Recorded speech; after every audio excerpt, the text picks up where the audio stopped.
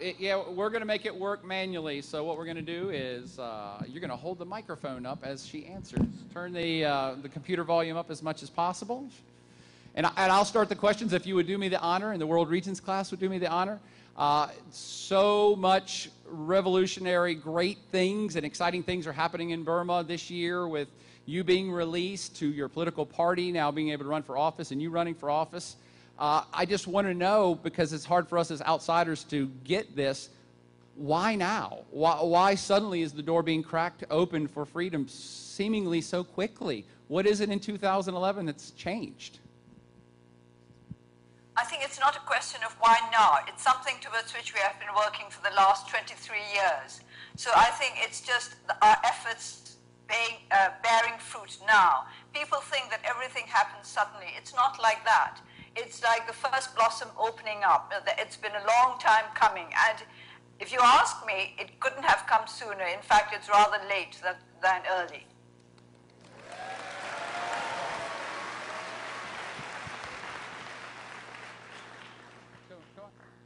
And now we're going to just turn it over to students who have been dying to talk to you. Hello, and thank you so much for being here. As a leader of democracy in Burma, what does democracy mean to you and the people of Burma? And will it be the change that is needed for a positive future in Burma? Well, to put it very simply, democracy means for me, and I think for those who are in the same movement as I am, a fine balance between liberty and security. We want to be free, but at the same time, we want to be secure. And we think that so far, democracy is the best system we know that can achieve both liberty and security for us. And this is why we want democracy, because it will guarantee us the kind of life that we want. But when I say guarantee, it does not mean that it will be there on a plate for us. We know that we have to work for it. We will be give, given opportunities to build the kind of lives we want for ourselves. That is what we're trying to do.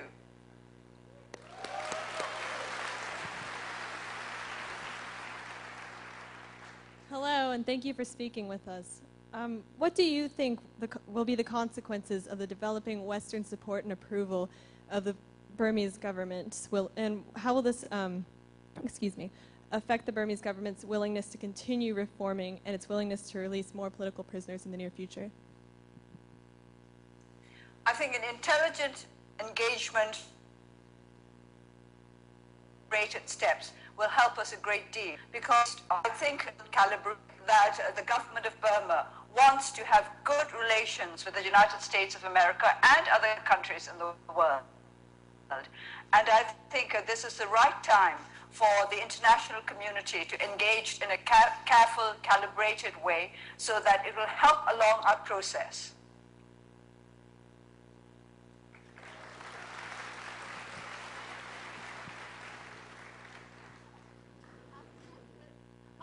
Telling them to clap. You, they, they can do it if they want to and not if they don't want to. oh no, their grade is dependent on it. Mingalava, uh, with respect to your recent meeting with Hillary Clinton, do you think Burma and US are looking at better international relations soon? I hope so. I hope that relations between the United States of America and Burma will improve day by day so that we can have more meetings like that, like this, and perhaps in person rather than across the wires. I can see your hand.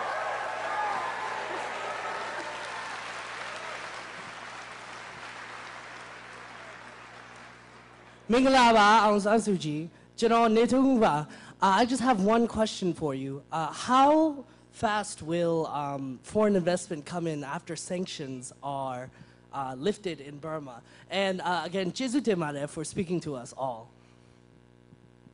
Well, it's not a, a, just, just a question of sanctions. I've spoken to a lot of businessmen, and what they want is to be sure that there's the right kind of economic climate in Burma uh, for, to, to, make the, to justify investment. So it's not just a matter of removing sanctions. There are other things necessary in Burma, such as good investment laws plus rule of law so that these laws will be seen to protect those who want to come in and, and do business here. So it's not just sanctions, it's other things as well.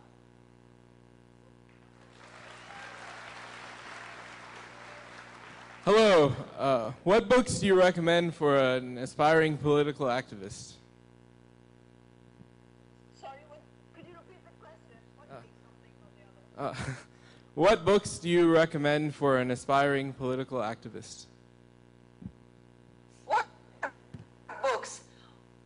Well, uh, I think it depends on what kind of politics you're going to go in for. It, it just happens that about the first uh, book on politics I ever read was about somebody who was kept under solitary confinement for seven years. But perhaps that was just coincidence. And uh, that certainly prepared me for the kind of politics I got engaged in. But that may not necessarily prepare you for the kind of politics you would like to engage in. So I think uh, a broad knowledge of the world around you is really the best preparation for any kind of political life.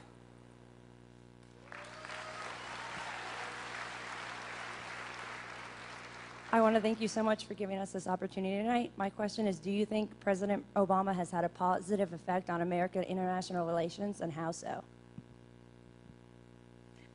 Well, y- yes, of course. The, the very fact that in uh, the United States of America, somebody like President Obama, whom one would have thought comes from an underprivileged uh, uh, section of society, can rise to be the, the president, that really improves the image of uh, the United States in a very great way. People like to see the underprivileged succeed. People like to see that there's an opportunity for everybody. It does not matter whether you come from a rich family or a poor family, or whether you're born into privilege, or whether you have to create your own way in life. People like to see uh, the fruits of endeavor really come to to to uh, to how shall I put it to be realized. They want to see that there are such things as genuine fruits of endeavor, and I think this is what has uh, made the international community so happy about the success of President Obama. We all feel that everybody can have a chance in this world. Hi, and uh, thanks for taking your time to speak with us. My question is You left home at a very young age and experienced a lot of hard times, but you stayed driven. Many students here and young people around the world can do great things, but we often lack focus or the proper inspiration. How do you stay so focused and motivated to achieve your goals? I think it has a lot to do with one's upbringing. I was brought, brought up to think that duty was one of the most important things in life. And perhaps this is out of fashion now. Perhaps this is no, no longer fashionable. Perhaps people do not think any longer that duty is important and that really the most important thing is to enjoy yourselves. But this is not how I was brought up. And throughout the years when I've had to face many difficulties, I was upheld by this conviction that nothing was more important in life than commitment to duty. And that, what, that was what kept me going. Um, I may be old-fashioned, but I think uh, you, you could try it. Try thinking of duty as the most important thing in, in your life, and I think you will find that it opens up a lot of vistas for you that you never realized before existed. It's not a narrowing process. It's in fact an opening up process.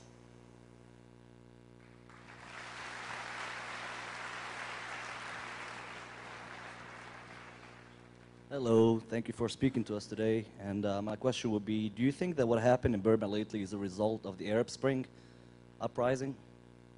Thank you.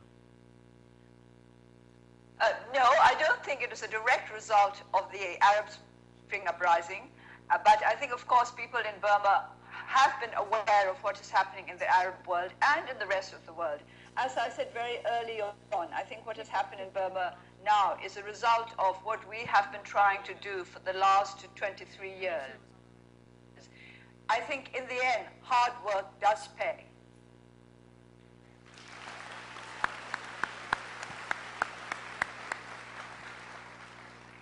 Hi. Um, I was wondering, while you were in Burma, how did you get started in being recognized for your ideas and as a leader figure without um, little use of internet or telephones or technology? Thank you. You know, once upon a time, there were such things as books. I mean, there still are now. And uh, I think I, I got to be known through the, some of the books I wrote and some of the uh, articles I wrote. And of course, even though there was no internet when I first started in the democracy movement, there was the radio and, and uh, some interviews that I, I had with various journalists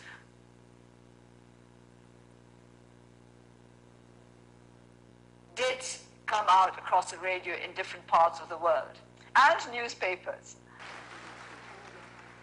Hi. If and, um, if and when a peaceful democracy is achieved in Burma, will that mean success to you, or will you continue to work on other goals either in Burma or abroad? When a peaceful uh, transition to democracy has been affected, then, then I would feel that we have got over the first hurdle. Then there's the question of making sure that democracy stays in Burma and that democratic institutions are stabilized and strengthened. So it's going to be an unending process in a way. After all, you in the United States, your democracy is centuries old, as it were, but still you have to work at keeping it strong and making sure that uh, it fits in with the times. So we'll have to go on doing that. But I do look forward to the day when I can say, having established a sound democratic system, I can sit back and do what I want to do.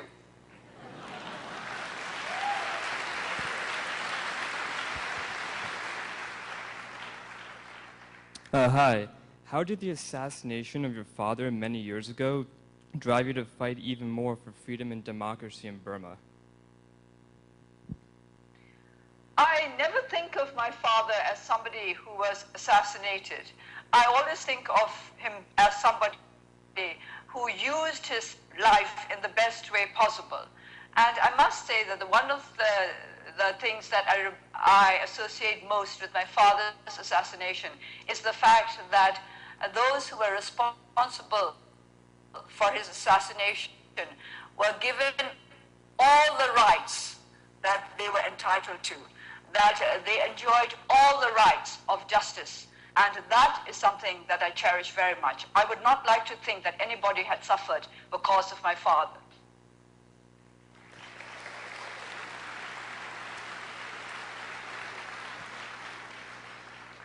First, I just want to say it's a complete honor to speak with you now. Uh, what was the moment that you realized this is what you had to do and that this was your calling? Now, that's a very difficult question because, as I said earlier, I was brought up uh, to have a, a strong sense of duty. So at all times, I always felt that whenever there was a need to do anything for the country, I would have to do it.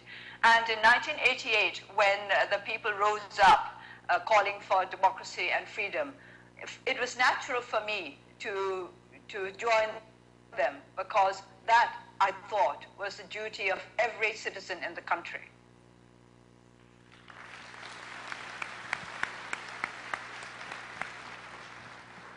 Hi.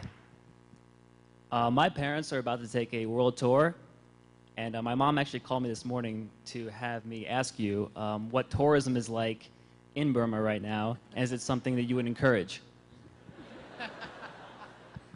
Uh, well, we have brought out a tourist policy in Burma, and we want to encourage tourists to, uh, to try to stay in the smaller hotels where they will be um, helping young uh, entrepreneurs to, to get on with their business. We would like you to encourage a kind of ethical, environmentally friendly tourism. That would help us a great deal. And uh, when your parents are in Burma, do tell them to drop me a line.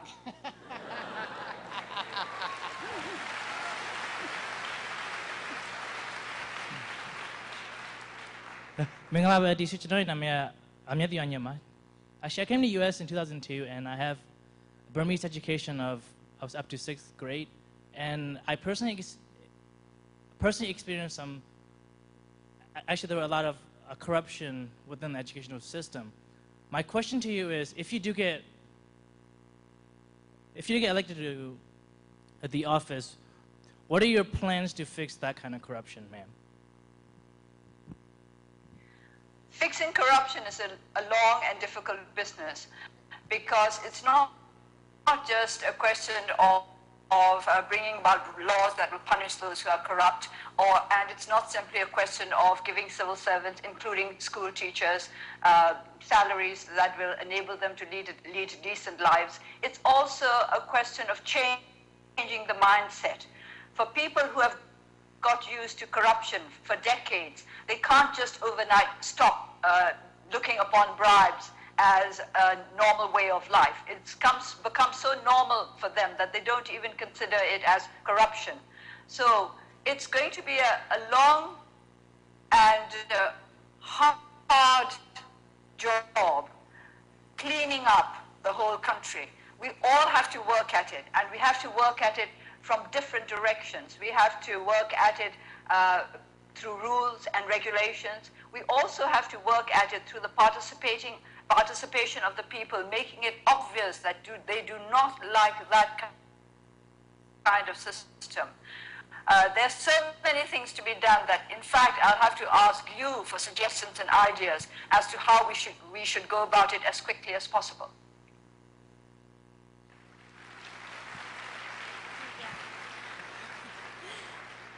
Thank you so much for taking time out of your day to talk to us.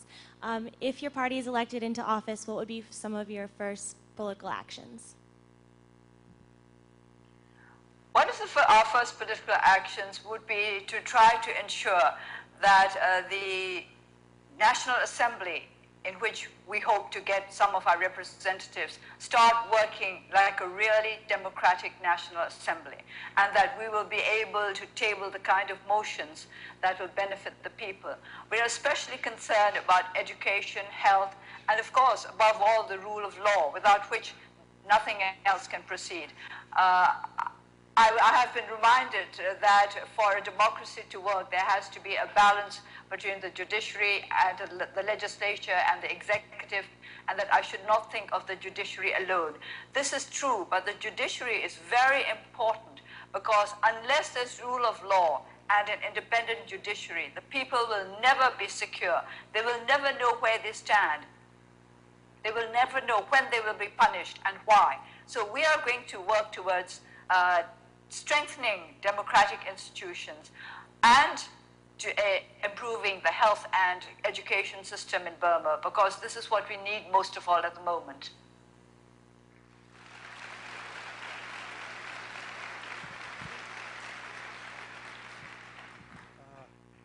I know a lot of us are sympathetic to your cause, but it's difficult to tell how exactly we can help from here. How can we, as college students in the United States, help promote the cause of global democracy?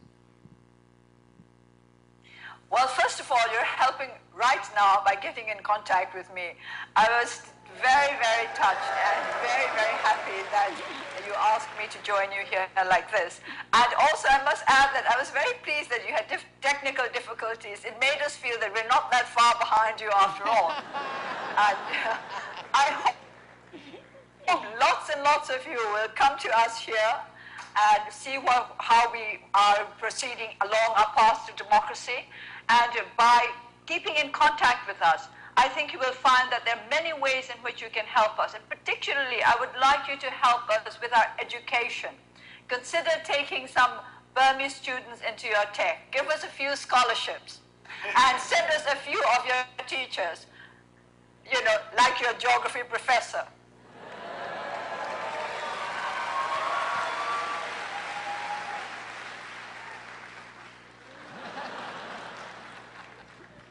Hi.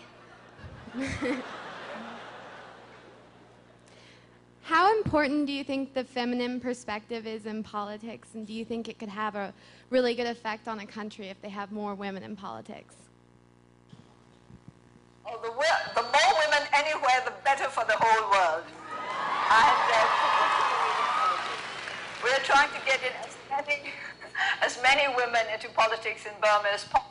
As you know, I met Hillary Clinton recently, and she made me feel proud of women and of politicians. And that is what I want.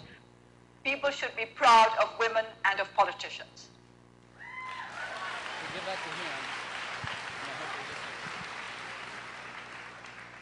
Hey, I, I wanted to thank you for taking my question, but uh, the uh, Chinese government has allied themselves with the junta to some degree, and that's kind of impeded your movement's progress. Where do you see your relations with China going uh, and evolving as your movement gains speed and takes over in Burma?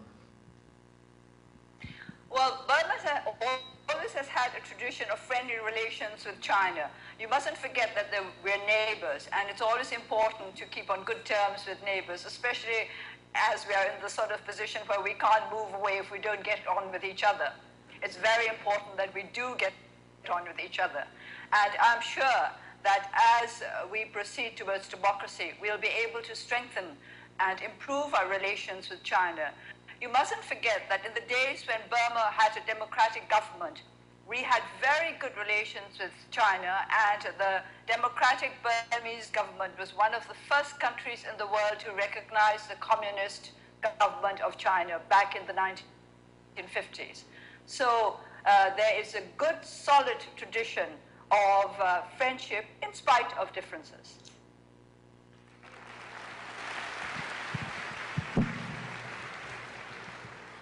Hello.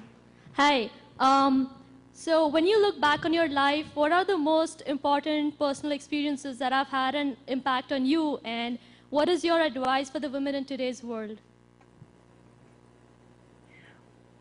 Well, one of the most important experiences of my life was going to university.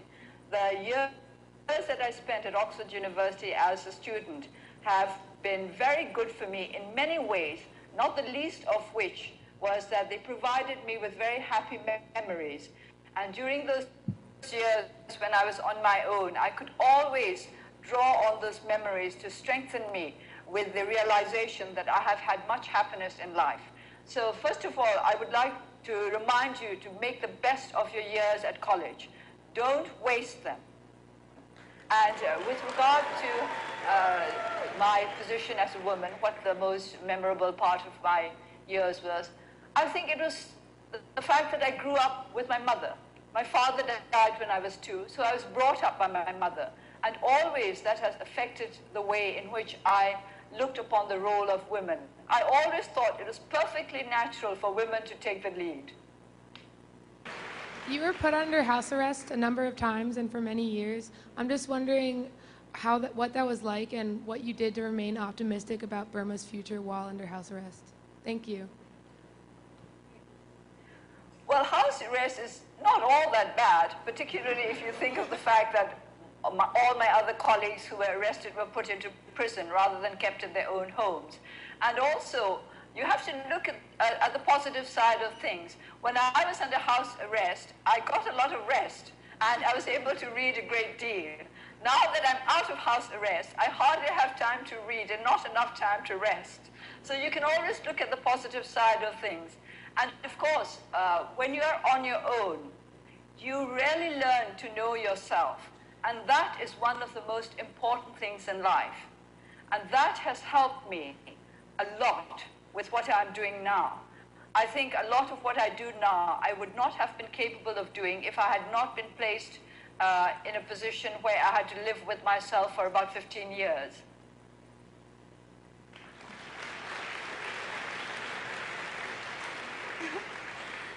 Hello. Um, what was or was there some kind of spark or what motivated you to um, get you started fighting for democracy in Burma?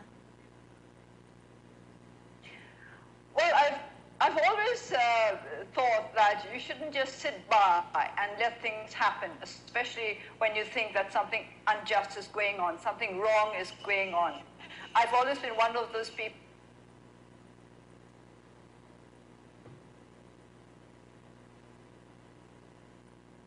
that is because of my mother's upbringing. When you think that something needs to be done, then you've got to get up and do it yourself instead of waiting for other people to do it. And when everybody joined the uh, part in it as well, to, and that was how it came about. I,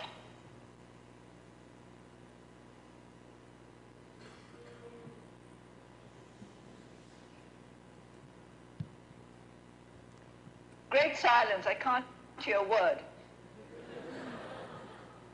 We just lost you for a minute, but we think you got you back. Hi, good morning, and thank you for speaking with us today. Uh, I was wondering what the rest of the world can take away from the events and struggle in Burma. Thank you.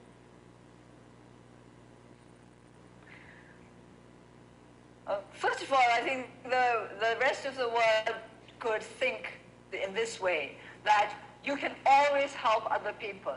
One of the great uh, pillars of strength for us throughout these years have been the, has been the support of the international community. Many times when I felt that our movement for democracy had been abandoned or forgotten, suddenly there would be proof from distant countries in the world that we had not been forgotten. And that is so, so strengthening, so encouraging to know that you have not been forgotten. So if you would all make sure that you do not forget those who need your help, uh, this is a great lesson you could take with you, that you can always help others, however far away they may be.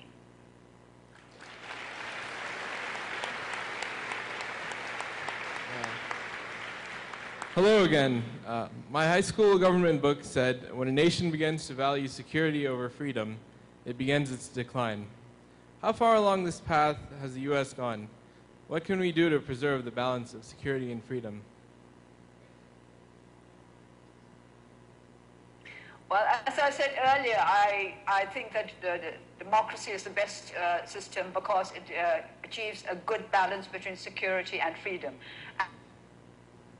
And uh, I think it is up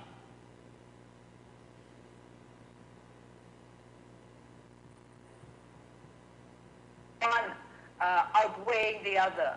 As long as you are alert to that danger, you will always be able to avoid it. So keep on the alert, keep on your toes, and make sure that your government does not do what is not good for your country.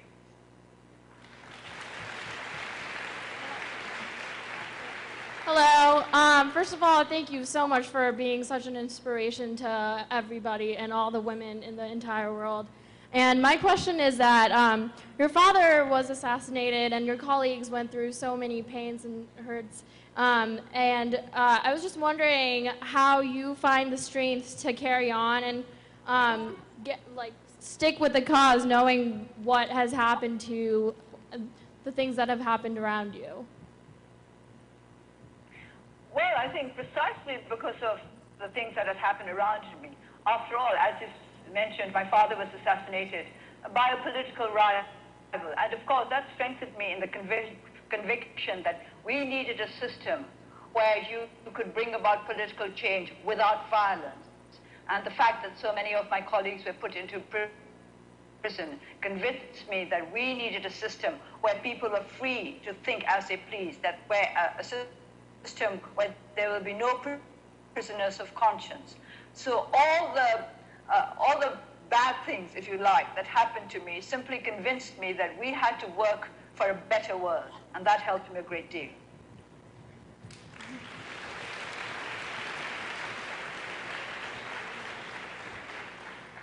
Oh my gosh, this is so cool.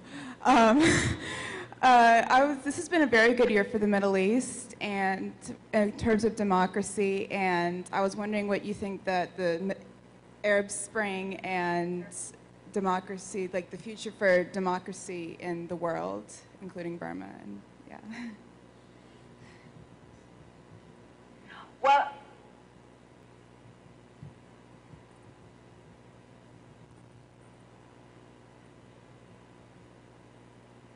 all manage to work out this balancing act properly, then I think we will proceed towards a better more wholesome word.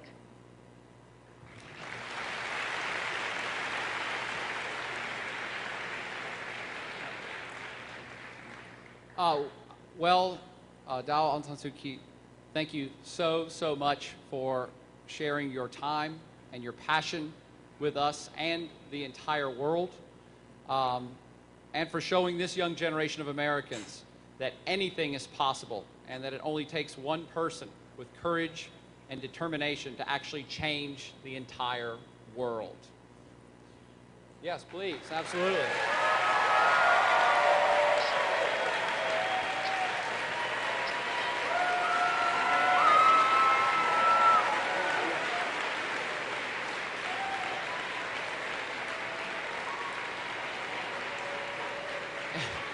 to they, they, they get so excited around you, as do I. My heart's pitter patter, all right? Um, but I did want to close by saying uh, no matter what the future holds for Burma, uh, please know this uh, you are not alone, and you have never been alone.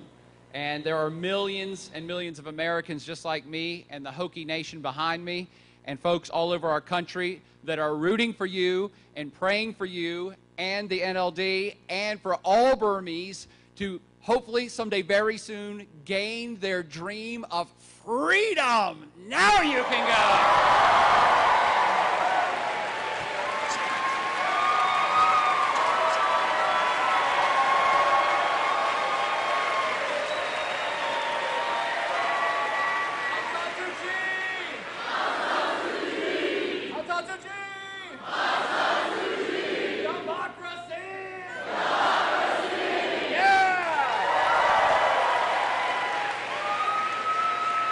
Thank you so, so very much. Have a great day because now it's morning there, so you get to go to work all day. So thanks again for getting up so early for us. Thank you very much, and I hope that one day I'll be able to come to Virginia Tech. Thank you. Oh!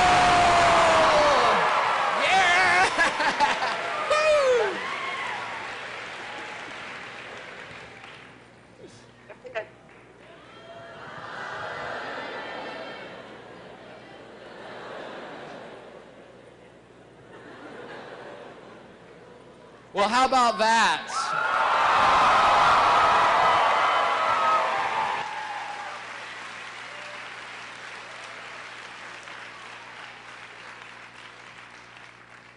Um, what do you want? Do what? 100 people? 100 people.